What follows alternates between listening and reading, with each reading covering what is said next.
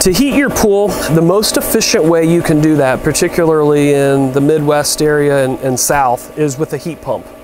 And a heat pump is operated by electricity, but it's not making heat. It takes heat from the air, the ambient air temperature, uh, and it puts the heat into the water.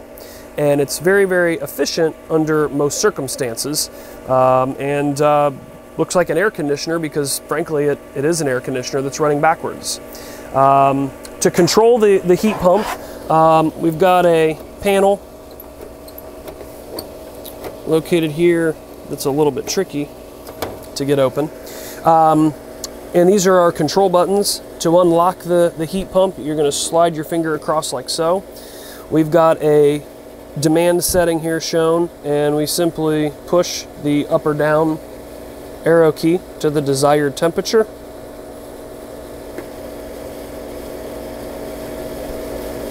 And then it'll go back to the current water temperature. And if it needs heat, it will heat up. And if it's okay, it will shut off. Pretty simple. Um, we'll go ahead and put this back down to, oops, 85. Now there's a couple things to keep in mind on a heat pump.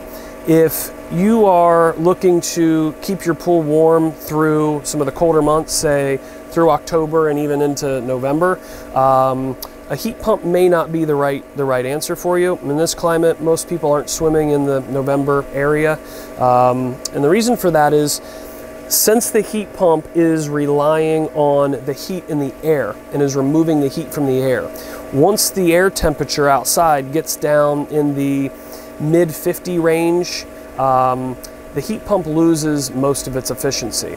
And there isn't enough heat in the air to put into the pool, and it will just run and run and run and run.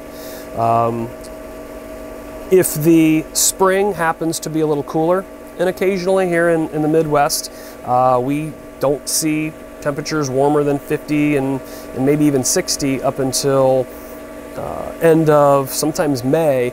Uh, there may be a slight delay in when you can heat your pool. But the good news is once the ambient air temperature hits 70, 75, um, this unit is capable of bringing up any of our pools a matter of 5 to 8, maybe even 10 degrees on a hot day per 24 hours.